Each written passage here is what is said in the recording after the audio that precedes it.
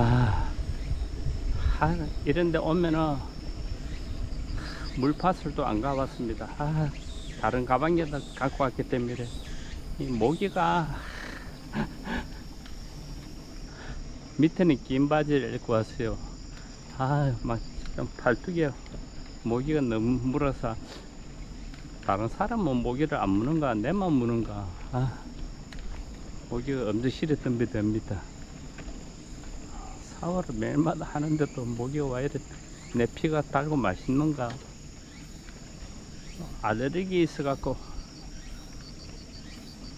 한 대충만 하게 부풀어 올라요. 아, 모기가 모기한테 물리면은. 아유 뒤에 거 지금 마사 앵앵거든요 모기 기피제를 몸에 뿌리고 왔는데도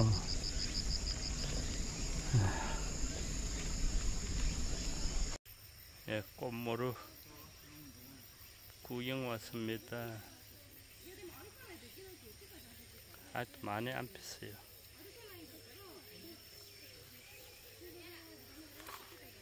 아, 뻐꾸기도 오네. 비둘기인가요, 저게? 꾹꾹꾹 하는 게.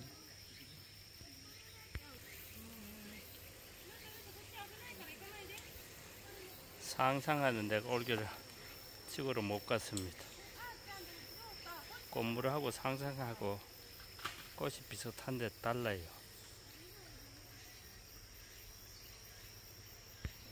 이거 키위입니다. 키위. 이 키위를 이렇게 조성해 놨네요. 근데 이 키위가 없어요. 안 열렸어요. 그래, 밑에는 이제 이 꽃무가 이렇게 피었습니다.